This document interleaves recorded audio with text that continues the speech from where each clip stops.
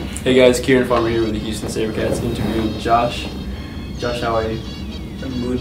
Pretty good. Yeah. What have you been up to this summer? Uh, this summer I was uh, back in Fiji, meeting up with the families and friends, and I was uh, like staying right in the village Oh yeah? where I used to grow up. What's the name of that town? Uh, it's called uh, Nasialai. You been doing any off-season training? Uh, to be honest, no, I haven't been training because I was in the farm and doing all the farming skills and yeah, so I guess that's I training. guess that's harder than, than training. Yeah. But you have to use your strength. Yeah. eh?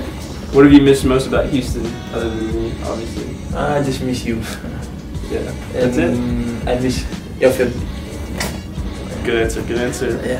And um, I know we're building our stadium this year. Are you looking forward to that at all?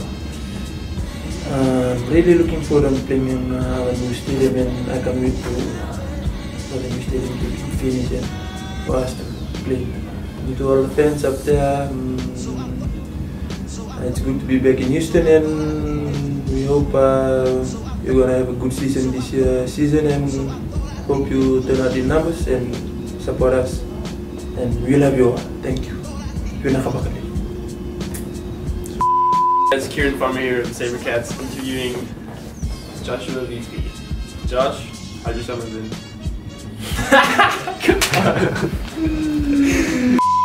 hey guys, Kieran Farmer here with Houston SaberCats interviewing my good friend Josh Vici.